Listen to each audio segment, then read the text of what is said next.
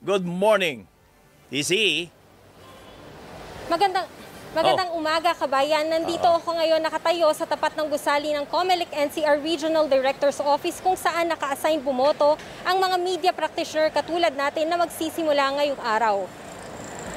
Ngayon din ang unang araw ng local absentee voting para sa mga pulis, sundalo, government officials, government employees na naka-duty sa araw ng halalan sa May 9. Ang Room 218 ang polling precinct ng mga miyembro ng media na boboto ngayong araw na nagsisimula na kaninang alas o, na nagsimula na kaninang alas 8 ng umaga at magtatapos ng alas 5 ng hapon.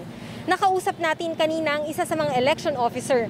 Ang sabi niya ay nasa 850 na miyembro ng media ang inaasahang boboto. Basta't miyembro ka ng media at nakapag-apply ka ng local absentee voting, wala ka ng kailangan dalhin. Ang kailangan mo lang ay pumunta dito. Pero hindi kagaya sa regular na botohan, manual ang pagboto sa local absentee voting at national positions lang ang pwedeng iboto. Ibig sabihin, presidente, vice-presidente, senador at party list lang ang pwedeng iboto. At dahil first time tayong boboto sa gitna ng pandemya, kailangan pa rin sundin ang health and safety protocols.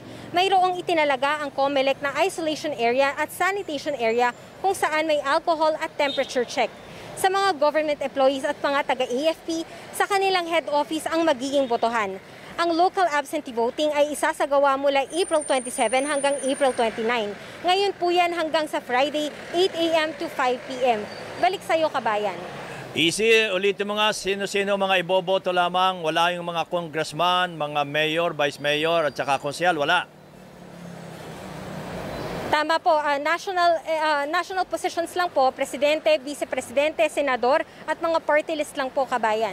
Okay, maraming salamat si Easy Lee.